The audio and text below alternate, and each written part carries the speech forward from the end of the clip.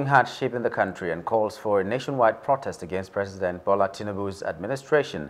The federal government has said it is not sleeping on duty and begged for more time from Nigerians. Describing the planned protest as a family matter, the government said all issues would be resolved in a way to ensure the peace and stability of the country.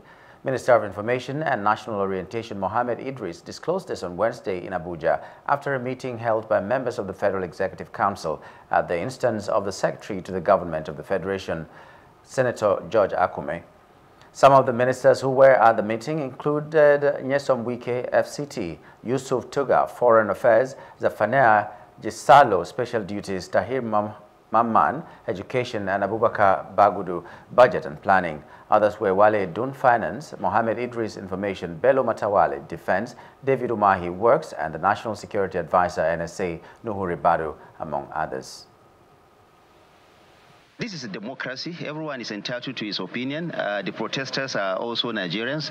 It's a democratic situation.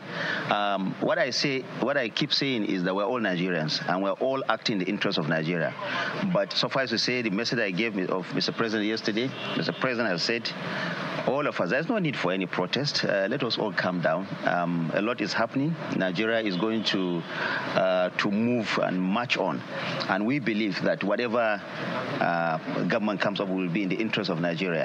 Uh, we don't think that uh, there is need for any protest. We are appealing for calm. We are appealing for uh, for a peaceful resolution or peaceful approach to any issue. If you have anything that you want to put out there, you are free to put it out there. But government is insisting that we're all Nigerians. We have to be calm. We have to be patient. As so far as to say that let us give peace a chance. Mr. President is working around the clock. The ministers are working. Everyone is working. All hands are on deck. And like I've said yesterday, everyone is listening. We're all listening. The president is listening. And he has a message for all Nigerians. That message is that they should all calm down they should please cooperate and give government more time. Everything they've asked for, all their pleas will be answered I think it is wrong time for anybody to do any protest because the implication of doing that, if care is not taken, is that it may be hijacked, like the EndSARS experience. criminals now hijacked an innocently conceived uh, agitation by young Nigerians. So this is another uh, kind of temptation that I think too that those behind the protest, because they have not been able to come out openly to say they are behind it, there is something uh, that is uh, a motive that is yet to be uh, unraveled. So I think that we are not in support of the protests.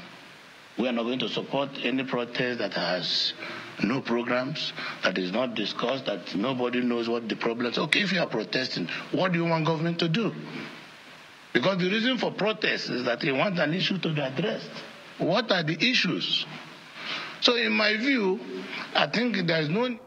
Hello. Hope you enjoyed the news. Please do subscribe to our YouTube channel and don't forget to hit the notification button so you get notified about fresh news updates.